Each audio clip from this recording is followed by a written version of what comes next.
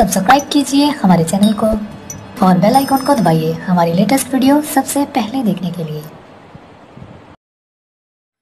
Hello friends, स्वागत है आपका अपने मेरा बचपन चैनल पर। तो दोस्तों, आज अपन बनाने वाले हैं बहुत ही स्वादिष्ट गाजर का हलवा। तो दोस्तों, जो भी भाई बहन मेरे चैनल पर नए हैं तो कृपया चैनल को सब्सक्राइब कर लो और बेल आइकन को प्रेस कर लो और वीडियो को लाइक कर दो। तो ये मैंने सबसे पहले देसी घी डाल लिया है इसमें। अब इसमें मैं गाजर को फ्राई करूँगी। और जैसे ही कलर चेंज हो जाता है, अब डालेंगे अपन इसमें मिल्क, बहुत ही मलाई वाला।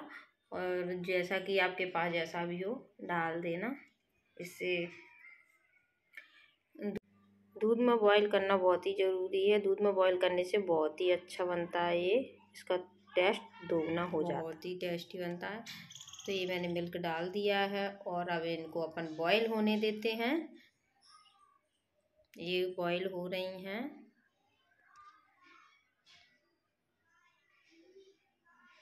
और इनको चलाते जाएँगे बीच बीच में।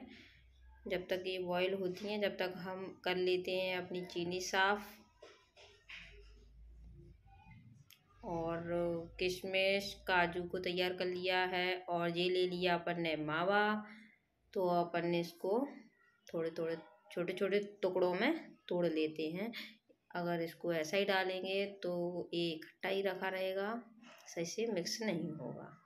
तो अपन इसको छोटे छोटे टुकड़ों में तोड़ लेते हैं और इलायची को तैयार कर लेते हैं।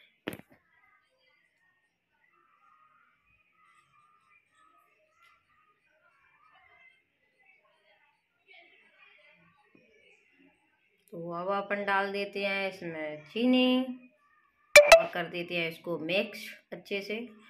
और इसको जब तक चलाते रहेंगे, जब तक इसमें शक्कर का पानी ख़त्म ना हो जाए, चीनी का पानी।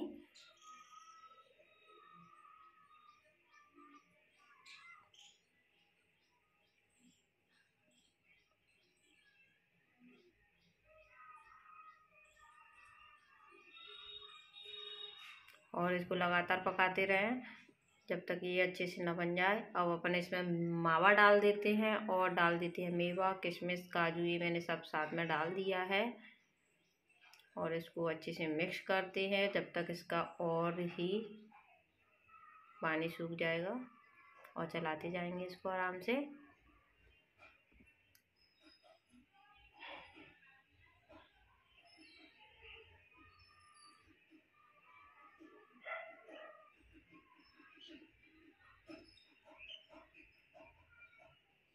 ये हलवा बहुत ही टेस्टी बना था। आप ऐसे एक बार बना के ट्राई करना। और अपन इसमें डाल देते हैं अब इलायची पाउडर। ये मैंने फोर इलायची ली है। बारीक पीस लिया है इनको और मैंने इसमें डाल दिया। इससे इसका टेस्ट और भी बढ़ जाता है। थैंक यू फॉर वॉच के लिए। और अपना हलवा बनने ही वाला है। तो लास्ट तक देख के जाना कैसा बनता है और खा के भी जाना।